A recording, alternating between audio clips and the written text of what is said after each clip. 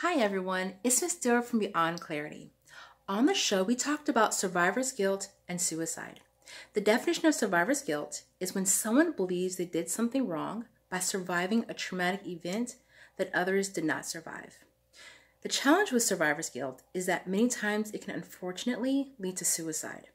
If you're contemplating suicide, please call 911 or call the hotline, and I'll leave that information below. If you want to read more about survivor's guilt, please go to realwarriors.net or to suicidepreventionlifeline.org.